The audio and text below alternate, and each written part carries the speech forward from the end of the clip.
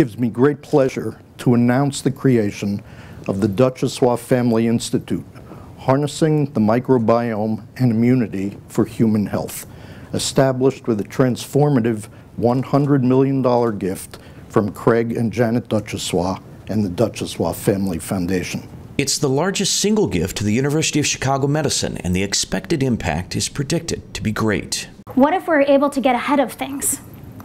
What if we're able to be proactive and look at preventative health care? As it pertains to disease, what if instead of prolonging death, we were able to prolong healthy lives?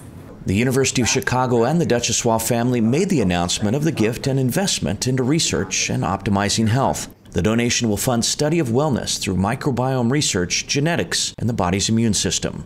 Recent discoveries, many made here at the University of Chicago, have demonstrated that the microbiome, the bacteria and viruses that live in and on us, plays an important role in regulating the human immune system, interacts with our genome and surrounding environment, and contributes to health and well-being. The new science of wellness will expand knowledge in genetics, immunology, and data science that will use the body's natural ability to prevent disease. Goals include helping prevent food allergies, improve cancer drugs, and even work to conquer obesity. And we want to focus on how the interactions between the microbiome and the immune system uh, contribute to the distinction or the state, the physiological state between wellness and disease. Improving health outcomes for patients is part of the idea behind the science. The other is to keep people out of hospitals and clinics by helping them lead healthier, longer lives. The research that will be supported extends from basic laboratory research to translational research and clinical trials.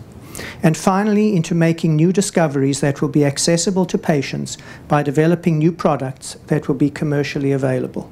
Part of the exciting and truly transformational aspect of this gift is the partnership with the Polsky Center for Entrepreneurship and Innovation that will allow research to translate to marketable products for consumers. More and more of our scientists are interested not only in scholarly research and discovery, they want that, they're the best in the world at that, but they want something more, and that is impact.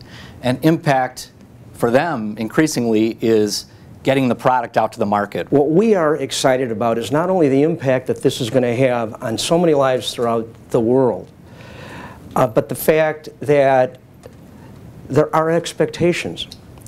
The fact that we uh, are working with the Polsky Center in hopes that, in fact, some of the issues, some of the discoveries, will be able to commercialize. Profits will be reinvested into the Institute to help make it self-sustaining. In many ways, our family is like everyone else's. We have had a history of illness impact all of our lives. Some members have asthma, some have severe food allergies. Many of my family members suffer from anxiety, depression, and some have had cancer. Wouldn't it be great if in the future some of those no longer existed?